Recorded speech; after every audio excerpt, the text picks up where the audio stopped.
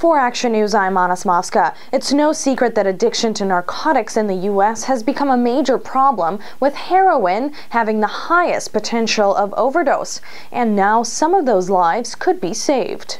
Nearly 20,000 New York City police officers will now start carrying a heroin antidote to help save lives. The injection kit containing the drug naloxone has been deemed highly effective. It's an old drug used in emergency rooms, but now officials say lives could be saved much sooner and outside of the hospital. Heroin deaths increased 84% between 2010 and 2012, following a four-year decline. So what makes this on-site treatment treatment so effective? ACSH's Dr. Josh Bloom explains.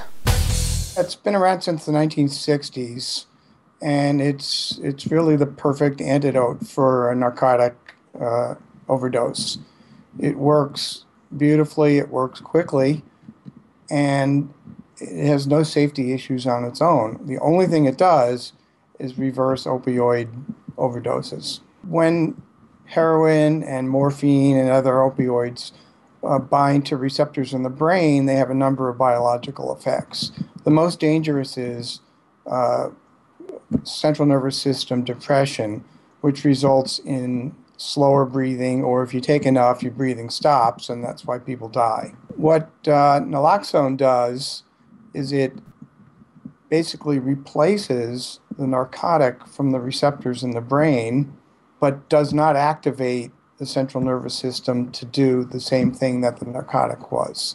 So the naloxone or Narcan is basically having a, a fight with the morphine or other narcotics for these receptors, and it wins. So these get booted off, and immediately the effect of the, the narcotic is reversed in, in, in seconds, in fact. It's easy to administer, it's safe and I'm I'm a little surprised nobody thought of it sooner.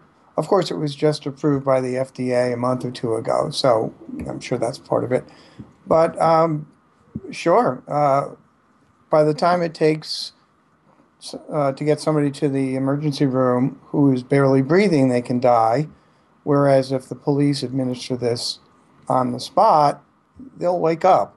And I think a lot of lives will be saved. Uh, and it's just it's a win-win. There's no downside to this whatsoever. To read more about this story and others, you can head to our website, acsh.org. That's acsh.org. And while you're there, don't forget to also sign up for your daily dose of news delivered right to your inbox. For ACSH, I'm Anna Samovska.